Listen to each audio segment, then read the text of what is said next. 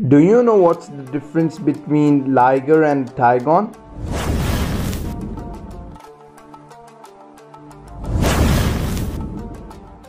Both ligers and tigons are classified as hybrids within the big cat family. A liger is an offspring of a loin and a tigress while a tigon is an offspring of a tiger and lioness. Tigons are smaller than ligers. Tigons weigh around 400 to 450 pounds. Therefore, a liger is two times bigger than a tigon. Tigons as compared to ligers have a body length of around 8 feet long. Therefore, ligers have a longer body length as compared to the tigons.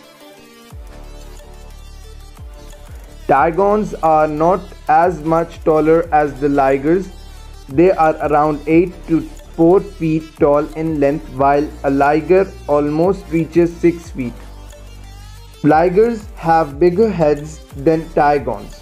However, tigons do have a head size as that of a male lion.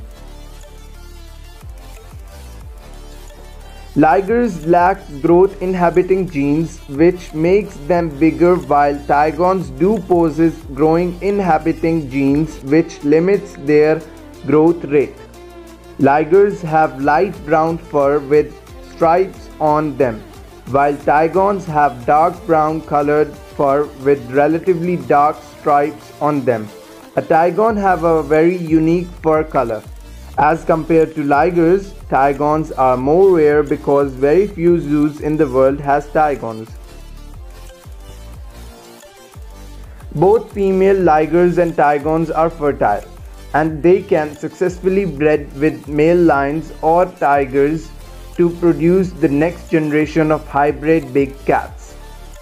Iran's Mashhad Zoo has a pair of both male and female tigons as its zoo premises which have bred successfully to produce a fertile offspring.